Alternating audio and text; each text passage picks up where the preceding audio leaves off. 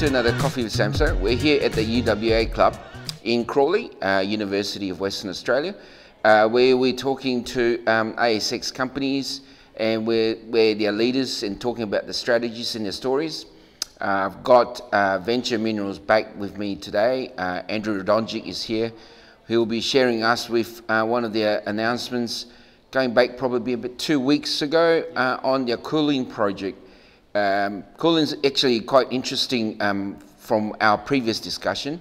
Uh, we've touched on it before, but I think it's uh, a good time to sort of maybe go in a bit more in depth and just to, to show and discuss why I think it's actually more than just a five letter word. Um, Andrew, please go ahead. Thanks again, Noel, and it's, it's great to be here talking about um, what we've been doing at Kulin uh, announced that a couple of weeks ago. Um, look, it's, uh, we originally pegged this asset um, back in 2018. I don't know if you remember the, uh, the G88 uh, you know, potential nickel sulfide discovery that was happening in that story. And I remember the, you know, the, stock price uh, went up, um, you know, went from 20 five cents to a dollar twenty for G88, and and uh, we managed to peg some ground around there, and we, were, we ended up being in the ballot, and we were unsuccessful. But we we pegged a whole heap of land looking for these ultramafic ultramafics, which had potential for nickel, copper, and, and PGEs, and we came up with our Kulin project, which we originally called Pingaring. And uh, so even back then, we, you know, we'd been looking at that southwest Yilgarn area, now, very few people look west of the Southern Cross Greenstone Belt. You know, you go all the way across to, to the end of the Yilgarn Craton, which is just a Darling Fault, and it all becomes a little bit too hard, despite the fact we've got the second largest gold mine in the world, uh, Boddington. So, sitting in the McSitter, we have uh, one of the world's biggest primary lithium mines um, in Greenbushes. And obviously got uh, Iluka's mineral sands operation, our Alcoa bauxite. So you've got different commodities and sort of world-class assets. Um, so, but you know, no one's really had a crack at it for um, for uh, for nickel or, or copper uh, and PGE until until Julimar discovery. So you know, you're starting to all of a sudden get a whole bunch of even at different commodities, some quite good stories. So, you know, so we pegged our, our Kulin block back in back in 2018, and and uh, and we pegged it for nickel copper PG, which is our original idea. And we also knew that BHP had a, had a gold anomaly there, which, uh, which obviously is part of that announcement. We, we, we, uh, we showed there's potential at depth already, and, and considering uh, you know our intersection there of 18 metres at 0.6 gram per tonne of gold is 40 kilometres away from the next drill hole. Uh, it's a pretty exciting result, you know, based upon drilling underneath a 100 ppb soil anomaly. So very early days that yet there, but um, but now with this, with this announcement, we've come back, if you like, full circle. We had these opportunities to get acquire some adjacent land, and and uh, and certainly, you know, ever since the Julimar discovery, that land package has been that area has been pegged out completely, and we are very fortunate to get what we got because Anglo America done a huge pegging frenzy through there, and uh, and picked up land that we wouldn't necessarily have picked up ourselves. But uh, we're very fortunate that uh, a company dropped a block of land next to us, and we did a joint venture. That's to the north and to the south of our main block. We did a joint venture on that asset with some with some some nice historical, um, I suppose, results, albeit shallow, which showed the potential for that nickel copper PGE in that area. So, yeah, it's a great result, and um, and uh, when you when you couple what we've done there Kulin now. We've got 600, over 600 square kilometres. Um, got two 20 kilometre long uh, nickel copper PG uh, prospective layered intrusive complexes, intrusive complexes. Uh, there's two 20 kilometre ones and one 10 so far. Um, you know, we've got a, a, lot of work to do there, but it's pretty exciting potential. But combine that with our other nickel copper PG opportunity in our, in our portfolio being the, uh, the Chalice joint venture down in the southwest, that puts us in a very enviable position, you know, in terms of what's in our portfolio. So, uh, you know, early days and, uh, and certainly, you know, the work, early work done so far by, uh, by Chalice is indicating that there are uh, EM conductors down that, that warrant testing, and obviously the best part of that's still to come uh, in spring once it winter finishes. But um, you know we're we're very keen to to get back on the ground at Kulin and add, add some value there in areas that really haven't had much work and done them for uh, for various reasons over the you know the last uh, few decades. I mean, when we did our um, sort of first Coffee Sam, so we went through some of your projects and we, we obviously touched on Kulin and not much work done, but I think why Kulin is interesting for me is that it's sort of out there by itself and in an area where not a lot of people have interest. I mean, a lot of people in the industry probably knew of the prospect, but I think the, the lack of capital funds and, and the, the you know people pushing you to go there with the money has created this isolation issue, right? And we, we I'm not a lot of people know that in Bridgetown there was gold there and things like that. So in this southwest region, has always been sort of the, the holiday spot, but then they they don't relate it as a mining area like a Kalgoorlie or a Menzies or something like that. So when when all this happened, when Julimar happened, people still didn't really see the trend. But when you put it on a map, like you're in your announcement there, where you can see it now, um, you can see all these so-called isolated deposits, like you mentioned, Boddington, world-class stuff. You've got Greenbushes, world-class stuff, and they just seem to pop out there. And do you think this could be, you know, was already there, and this could be the the you know maybe the icing on the cake for going in this area? Well, look, I think uh, you know people learn as people do more work, they learn more about it, and, and, and certainly, you know, one could argue that you know very much scratched at the surface so far in, in that area, and I think, you know, with time, um, and again, the exploration that's been done there before has been restricted just to, to boom scenarios. You know, like okay, well, everyone's pegged, you know, the Campbell, the, the Goldfields area. Everyone's looking there. Let's go and have a look in the southwestern there's these phases of sporadic phases of exploration during boom times, but quickly they retreat back to their, you know, their better known districts, if you like.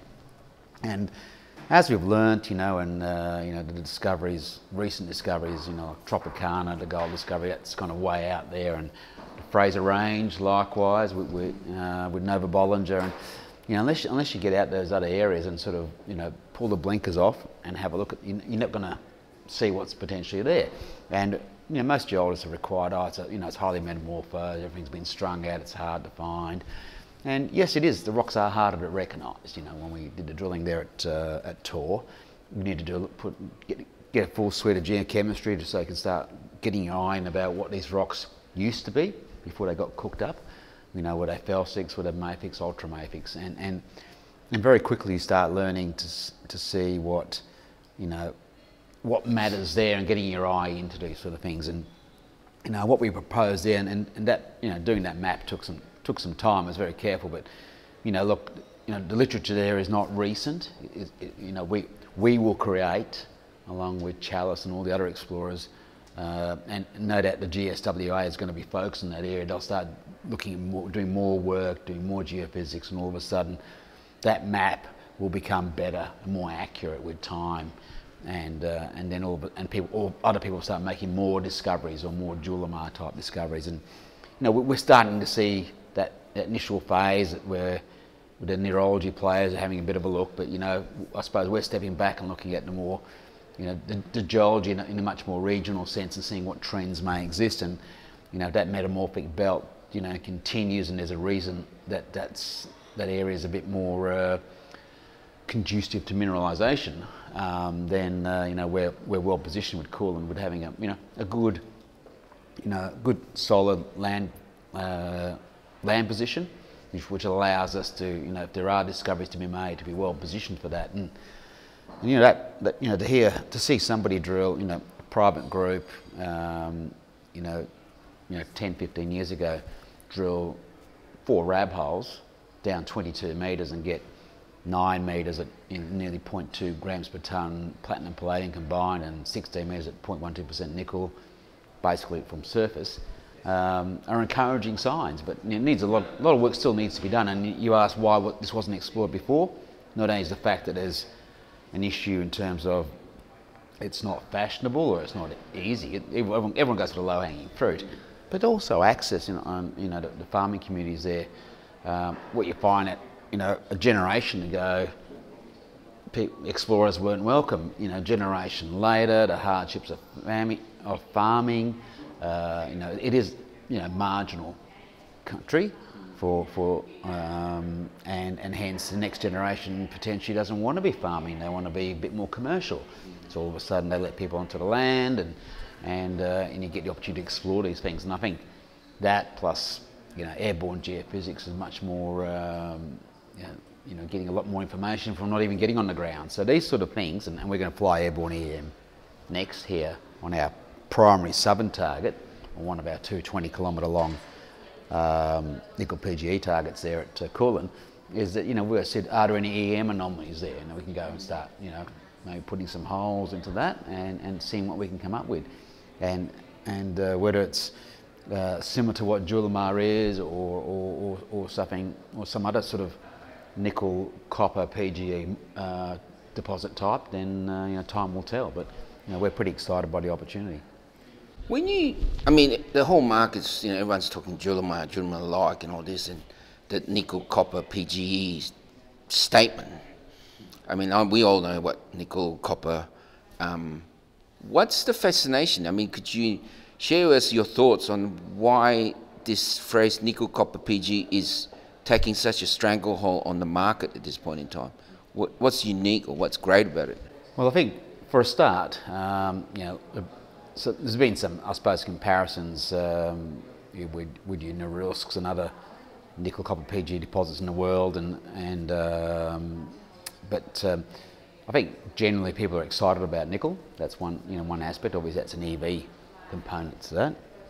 Um, and and I think uh, there's also a genuine um, shortage of PGEs, but there'll be a, there'll be a huge requirement uh, for further um, platinum group metals in the future going forward as well. And I think from what I'm hearing, there's a, there's a huge shortage of that uh, on horizon. So uh, that's going to be pretty pretty important. And I think that um, you know to have something sitting on, on the doorstep of Perth, a new discovery, um, excites the market. And I think you know generally people like like I suppose having particularly in Western Australia, uh, very parochial that you know, we've got a you know, discovery of this sort of scale mm. happening mm. in, in, in, uh, in, WA.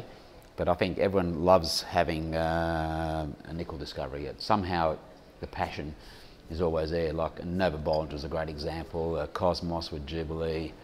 Um, you know, these are all very good examples of that of sort of the hype it kind of can create. Mm. Um, but um, you know, someone said to me, "Be finding nickel near Perth." I think you know would have been struggling to see that. But when you when you when you sit there and you look at the work done even down in the southwest at you know Western Mining and Anaconda were looking for nickel, you know during the nickel booms back down there. So obviously, you know, main ingredient is it's still the Yilgarn block.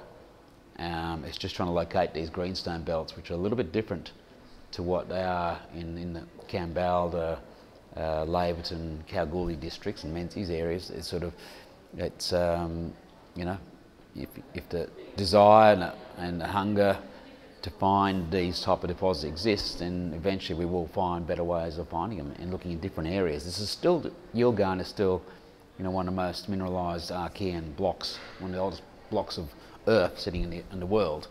And, uh, and sometimes you've got to just stand back and acknowledge that and say, well, you know, where do you go hunting for next one? You're not going to find a Kalgoorlie next to Kalgoorlie you'll find a Kalgoorlie maybe somewhere else different, and uh, or you'll find another Kambalda, another group of um, um, system, and, and maybe maybe maybe we've got one of those sitting in our area. You know, time will tell. We'll get to work. We'll do the work, put that in, drill some holes, and and then um, it'll reveal its secrets to us, and then it'll be it'll be a little bit different different form. It may not look like a typical um, because of the um, high metamorphism that's gone through. It may not look exactly the same, but you know, that's how you get upon these new sort of uh, groundbreaking or company-making discoveries is by, is by operating this area. And that's always been our philosophy at Venture is to, is to go looking where the ingredients are still there but not quite the same and being a, like a first mover uh, being part of that group, and and uh, you know, and we've pegged blocks in areas like that, and and, this, and Thor was a good example of that, looking for.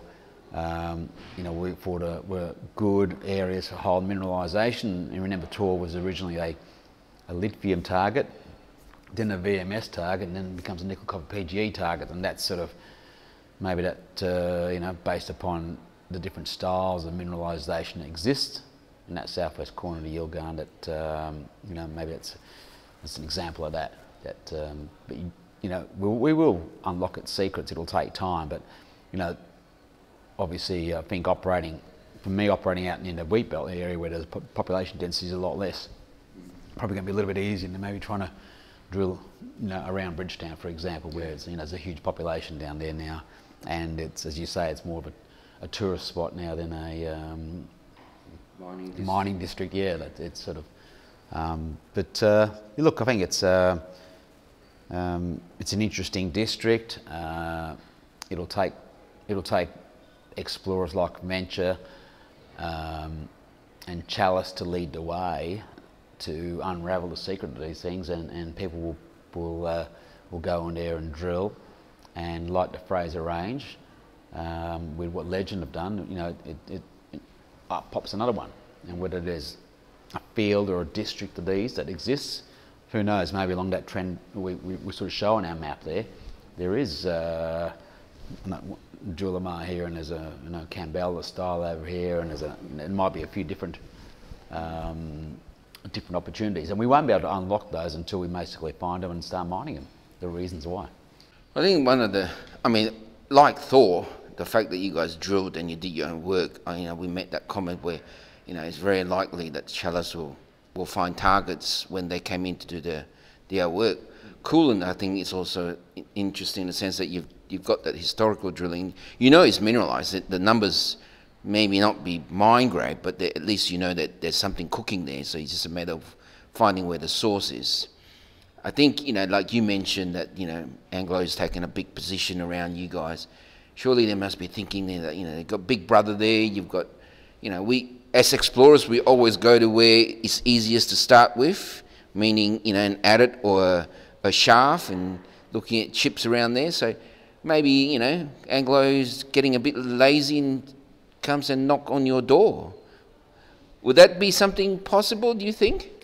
Look, I think uh, when we always grab, you want to grab a sniffing ground position and, uh, you know, either, either to give yourselves more probability of success, having more targets, and like I said, we've got three pretty, you know, good big size targets.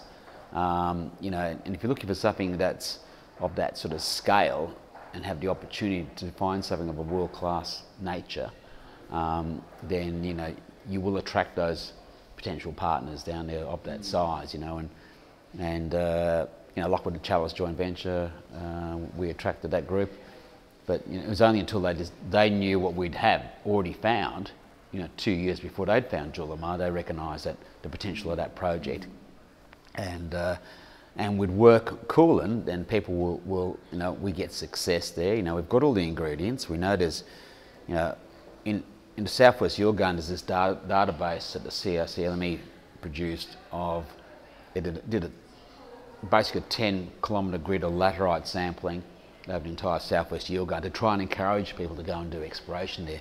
In fact, that's the reason why Teck uh, got in there because of some of that early work and drilled and found some VMS next to Thor. Um, but if you look at that data set and you plot some of the highest grade chrome rich rocks, well, Kulin and Thor stand out like a beacon. So we've got the chrome rich rocks, tick. So you know it's mafic, ultramafic. You know it's got nickel, have nickel potential. We've gone out there and we've now got you know significant PGEs. You know, at you know at on surface um, you know, the next phase for us is to, is to fly that over to at least that 20 kilometre southern anomaly in which there is that drilling done historically. Four rab holes, that's all that was drilled. So there's a lot of work still to be done there. Uh, and get some EM anomalies and then, and then you know, start poking some holes in it to see if we can come up with you know, a new discovery. But we, the drilling we did on the gold, we never actually tested the nickel copper PGE. But you know, that was a real eye opener in terms of the rocks we came in, and, and he could actually started seeing um, some quite interesting uh, styles, and certainly they're, they're, definitely intrusives. There's no doubt about that. We could actually you know, determine that from that program. So um, went back and relooked the core, trying to build these geological models, and and uh, like I said before, you know, to get that gold result in the first pass is uh, is, is, a great. It's a, it's a very good start for, for an initial program, especially considering when it's pretty much elephant country. There's not there's, there's very little out there. So I think that's what I like about a lot of your projects in the sense that, yeah, especially, you know, obviously Thor sort of um, parked up now. You've got your, you know, the the guys working there, and and Kulin's the next one that you work on. Um, look, we can't, we sort of can't end this conversation without um, talking about tin because uh, in July, tin decides to go for all-time high run. I personally was actually quite surprised to see it. I didn't actually um, watch it run, but you know, it hit 36,000. Um, and we, we've talked about Mount Lindsay before in your tin tungsten play there. You know, when you see something like that for you guys now, um, it must be, you know, a, a, a, a good comfort that if this price hangs around in this kind of scale, or in this zone, I should say, um, that project would be very, very close to be a good project again. Look, um, you know, the, the, price is unbelievable. No, at uh, the RIU conference in um, in February, it broke thirty thousand, then it retreated back a little bit, and tin has been prone in the past to, to do that, um, but we seem to have a structural change with the need for, for tin in electronics, the demand for electronics because of the uh, everyone having to work from home, um, the uh, the fact that you know, for the EV, for Matic, you know, it's in the anodes of the batteries. Electric vehicles are going up. Obviously, everyone's building an electric vehicle. Everyone's phasing, phasing the old combustible fuel vehicles out, and, and all of a sudden the, um, um, the tin has run out. Know, we ran, you know, EV production was stalled by the lack of semiconductors, which is what tin's used for. Uh, that was part of the reason, as well as the fact that obviously there's coronavirus issues in terms of workforce but there's, there's like a day's supply of tin around. So this is all of a sudden the next jump, which I think was back in uh, April, May, is now sustained and kept on moving mm. forward. Mm. So this is, you know, very exciting times. We've never seen prices this high. This is 170% higher than the lows of 2016. And the other good thing for Mount Lindsay is that tungsten's 70% higher than at the same mm. time. So that's mm. that plus magnetite, which is worth a small fortune per tonne, makes Mount Lindsay a very attractive proposition. And, and we've got a, we've done a feasibility study. We're going to do, we're going to dig, you know, an open pit on top of Mount Lindsay, And, uh, and as we told the market back in um, 2018, 2019, we're going to look at going underground, get a smaller footprint, make it easier to permit, but also to get that capital requirement down. And, and to do that underground operation, um, you know, we can see that uh, the capex requirements are, uh, you know, more like $50 million instead of $200 million for an, for an, you know, uh, an open pit. So that sort of scenario um, is, uh, is very attractive in this market. And, that, and the great thing about it is that we can see that, you know, in, in the time period that Riley is being mined, those couple of years, we can, we can, we can actually finish off the permitting and build. And we were going to, we've simplified the flow sheet, we've done all that. We were going to use the Riley equipment to be the front end of the plant. Mm. And, and still that could be, a, could be the possibility. Once we finish the Riley equipment, we might as well use it for, mm. for crushing the, the ore to feed the, um, you know, the, the, gravity circuit for the, for the tungsten, tin tungsten plant. And you know, that, that happens, then uh, it'll be a very, very nice operation indeed. And, and the great thing about it, we'll be able to capture these high tin prices. So, you know, I'd expect that the, uh, we never announced the results at scoping study, never quite finished, got very close.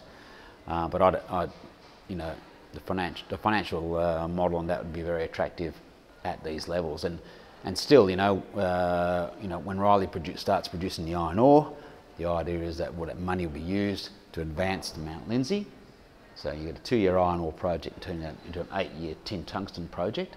And the drilling we're doing now at Mount Lindsay, you know, drilling along strike from Renison Bell, Australia's only tin mine, essentially, um, and, and in areas that are in an old, under an old historic tin field with an EM anomaly, pretty exciting opportunities, is that, you know, we want to make sure that we don't have eight years mine life, we have, you know, 20, 30, 40, make, make it a multi-decade opportunity like every other mine on the west coast of Tasmania. You know, like Renison's been going 130 years, Rosebery 85 years, uh, Savage River, the magnetite mine, 50 years, um, and even Mountain Lyell copper mine, even though it's been closed down recently, that's 120 years of mining history. So here's a great opportunity for us to, to make more discoveries there at Mount Lindsay and, and Riley will, be the will enable us to do that. And then once we, we become a, uh, a tin tungsten producer, um, then uh, you know hopefully that we'll see many decades of that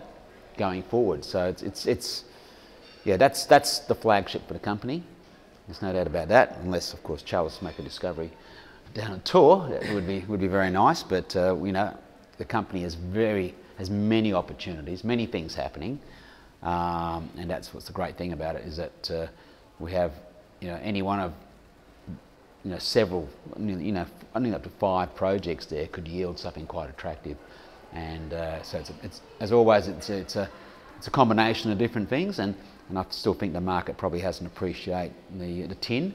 And, you know, oh, and, uh, the fact that you didn't yeah. know that the prices there was almost shocked, well, shocked me actually, but I, Yeah. I, I, uh, I thought uh, you might have known. But you know, it's the tin price is at a, uh, a level which um you know don't be surprised to see 40,000.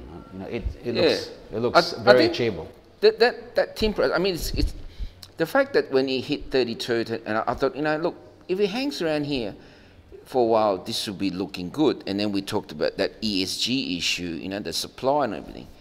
Um, and and I, I didn't anticipate for sure to be running that hard, but that also tells me that the market, the guys that know, has said, hey, this is um, going to get worse.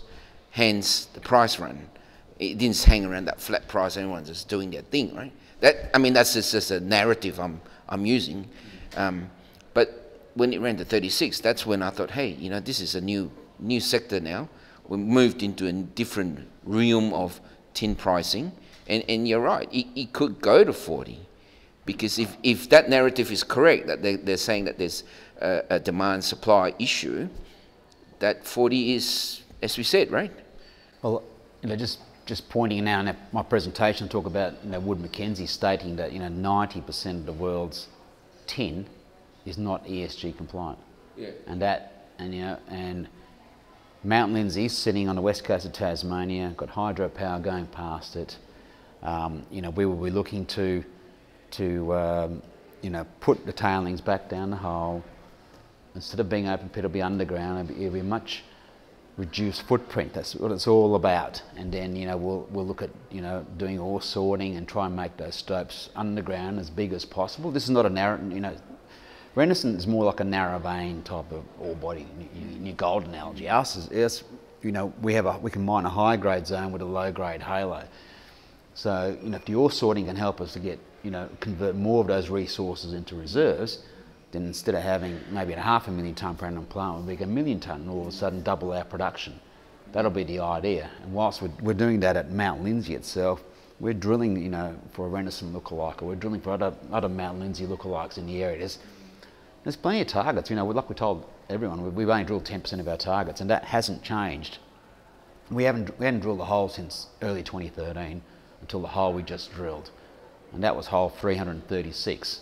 So we already drilled a fair whack of holes, but most of those are infill holes at, at Mount Lindsay and pushing it down plunge. So there's still a huge amount of untapped potential, and we had, you know, 12 high priority EM targets on the EM survey we flew um, back in 2019 and and uh, you know several dozen lower order targets, and, and you just you know when you look at Mount Lindsay in the EM, you see you can hardly see it register because of the fact that clays have the clay zone sitting above it, so it's masking the signature.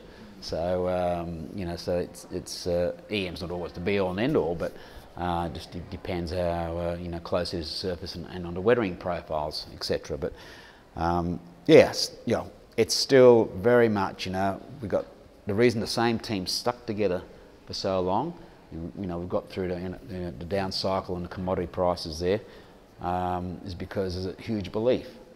You know, so we want to go and build another team. So Riley gets up, Riley becomes its own, looks after itself, produces the cash flow. In the meantime, we're getting Mount Lindsay ready. So ready to build that separate team and get that done, and and that will allow us to uh, you know convert from being an iron ore miner to be to be a tin tungsten miner, and and don't be surprised, you know, if tin gets on the critical minerals list soon, like tungsten. So, and with that, you'll see there'll be a, a desire for you know for government to uh, be interested in assisting us, you know, should should should we should we need it? But there's, there's, government can assist in many ways, but you know to get the government support because they're critical minerals will, will be an added bonus for that for Mount Lindsay.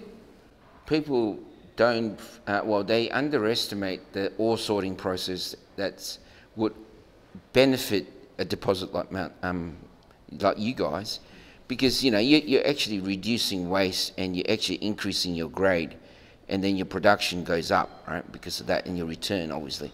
I think I, have had my experience with ore sorting with the tungsten stuff in, in New Zealand when we were doing that, and we looked at it, and the, the numbers that came in, if you got it right, is amazing. You could you could upgrade something that's, you know, not even near economic to very economic if you get get the things right, right? So. I think that's that's very important for you guys. Oh, exactly. And and and Noel, back then, you know, ore sorting technologies improved so much yes, since then. And yes. we, we, you know, at the same time, we, we also considered it for Mount Lindsay, but it just didn't seem to be at that point that the technology was going to be working. And a lot of it was around computer power, that, you know, trying to make that decision of whether to, to reject it or keep yes, it, you know, right. as, as it falls off the belt, you know, and, you know, to process that. But now, of course, computers have changed a lot in that, in that, in that decade and uh, and uh, Renison had have uh, three ore sorters sitting down there working. Mm. Well, been probably there for eighteen months now already. So that's that gives us confidence that it can work at Mount Lindsay as well. Oh yeah, I've I've seen a lot of um, um, writings and, and, articles on, on how it's improved since you know back in those days. Mind you, that's almost ten years ago. Um, we're talking about now the technology uh, and it's it's it's made a, it will make a lot of difference to a lot of projects um, in terms of ore sorting. And obviously, you know, I, I mean, we've talked about Mount Lindsay a lot of times, and you know, you've only really touched ten percent, and it, where you've got, you can see most likely you're going to find all the veins anyway. It's just a case of money drilling, money drilling, you know, um, and, and it's you know the right tectonic setting helps too. I guess. Oh, yes, we're, we're very well positioned. It's, uh, like I said, you know, there's an alluvial tin field there. There's, you know, there was mining back in over 100 years ago uh, at Mount Lindsay itself, as well as the Stanley River tin fields. So all the ingredients in there, and, and you know, we may find just pure tin deposits. We might find tin tungsten combinations. We've got so many targets, and, and, and a lot of the reason why the west coast of Tasmania is still highly prospective is that, you know, is because of the infrastructure. You know, the reason we've got a road going past is because of the hydro dams. Otherwise, that to use a flying fox and go over the Pieman River. Back in the 60s, and you hear the story of people getting dropped off at a helicopter for a, for a couple of weeks with a with a swag and, uh, and food supply and, and go out there prospecting. It, it's it's not easy work, and uh, so there's still a huge amount of prospectivity there, and, and it, again, touching on the airborne EM survey we flew, you know, again, this technology has improved so much in the last five years. You can start looking through, um, you know, through through the cover and, and starting to get a bit of an idea what, what lies beneath, and and uh, there's no doubt there's many more world-class discoveries to be found on that on the uh, you know on the west coast of Tasmania. You've got the Mount world famous Mount Read volcanics uh, yielded VMS deposits, um, and uh, and obviously uh, the tin tungsten world, King Island, you know, been a great example of tungsten. Um, you know, this is one of the uh, you know the premier you know tin tungsten districts in the world, so it will yield more. There's no doubt. I think there's another thing you touched on that um, we didn't sort of talk about. You know, the the whole ESG component is a big part of most commodities today, and you know having hydropower uh, would is, is the critical thing. You've got that kind of green power feeding into your project. Your project becomes greener, over time, and like you know, you're doing also in re- reducing your waste and how you you expose yourself. I think you know that that green tin, green tungsten play can actually manifest itself over time. I think. Well, way the project is uh, located, there's a great opportunity to do that, and the strategies we're putting in place in terms of the way we're handling the um, uh, the tailings, putting that back down the hole, reducing the footprint. I think we've uh, we'll be ticking a lot of boxes Yeah. uh, on that ESG side of things. Oh, that's good. Look, Andrew, we could go in forever, as usual. I mean, and I always tell people that, you know, when I talk to the likes of um, Andrew, I don't have to prepare much. It just happens. Um, but again, thank you, and it was great. You know, it's a good, good update for us. You know, I just wanted to bring the understanding of Kulin to, to viewers, um, and I think that we've, we've achieved that as well. Um, and guys, again, you know, at this point in time, I always ask you to reach out, ask the questions, because I think Venture is a very, very uh, unique beast in the sense that you know you've got your your Thor parked away, you've got your Mount Riley parked away, and this and, and from the beginning, it's always a matter of time that you you get this activated and timing and, and, and funding, which is looking like on track anyway. Um, but again, thank you, Andrew. Until next time, let's um, keep in touch. Absolutely, pleasure as always.